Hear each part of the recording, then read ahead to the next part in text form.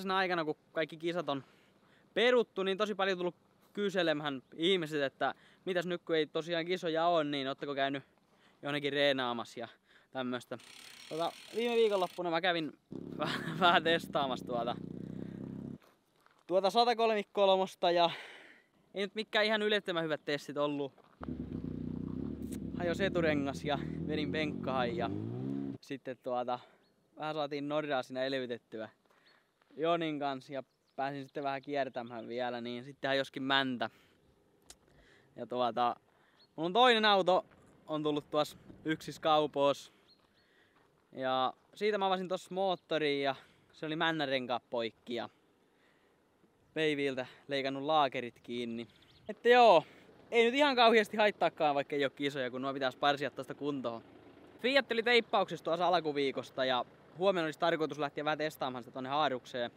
Nyt voitaisiin lähteä hakemaan Joni ja tuota, mennä katsomaan, pitääkö siihen Fiattiin vielä jotakin hivistellä. Ja vähän myös katsothan tuota, minkälainen homma tuo oli teipata tuo auto. Tämän auton teippauksen hoiti mainostalo Printlink. Printlinkiltä sä saat kaikenlaiset mainostuotteet, tarrat, teippaukset, kyltit, opasteet joka lähtöä. Printlink sijaitsee Lapualla tuolla Honkimetsän teollisuusalueella.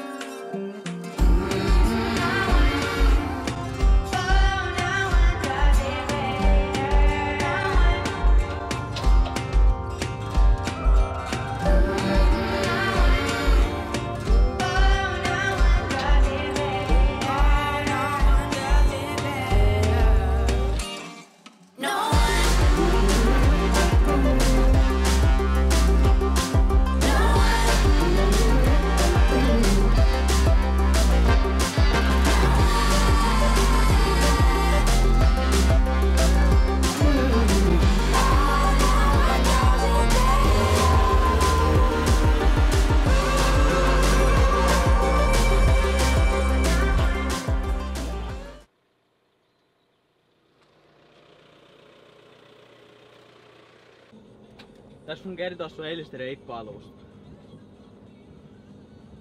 Sehän oli tota niin, niin suurin urheilutapahtuma sitten 95 MM-pullainen. Kävit pyörillä töissä. Joo. Ei oo monesta siihen.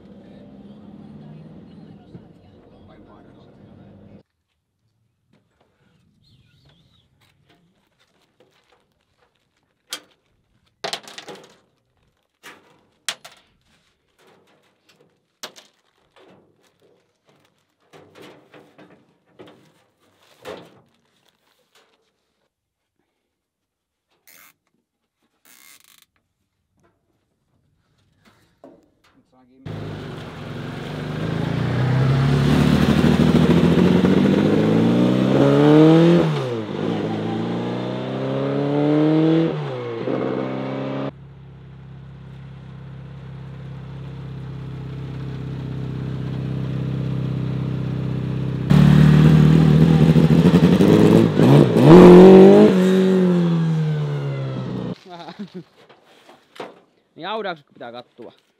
Joo, tuntuu ainakin, että aurastua.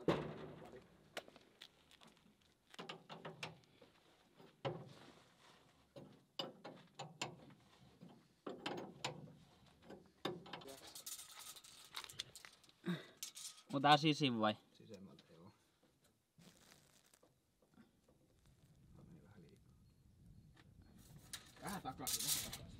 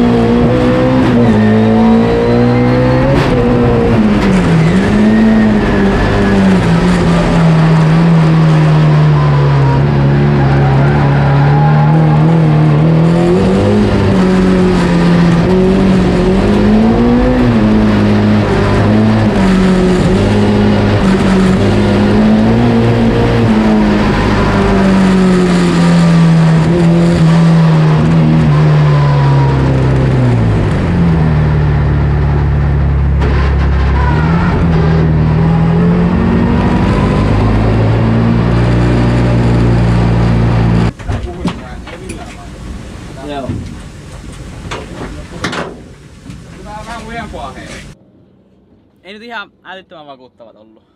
Ei. Perus. Rullalla kotiin. Ehkä seuraaviin testiin pitäisi katsoa, että se toimii. Joo, renkaat vaihtaa. No joka toimi tuo saatus yhteen. Ajaa oli hyvä, mutta muuta hyvä siinä ei. Mm. Vähän pitäis kyllä mun kovemmin vielä ajaa. Joo, paljon olisi vähän lujempaa. Mut joo, joo. Se oli tämmönen päivä tänään. Fiatit kans lisääntyi tänään tota yhdellä.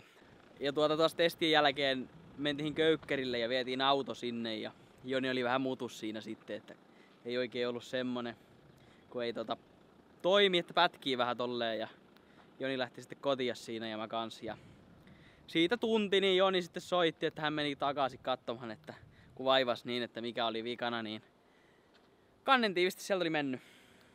Ja tuota, sitten ruvettiin tuumaamaan, että minkä takia se on mennyt se kannen tiiviste. Ja päädyttiin siihen, että kuinka se nuo lämpes? Vähän veikkaa tämän Kiinan vesipumppu eikä pysy joukossa tuolla.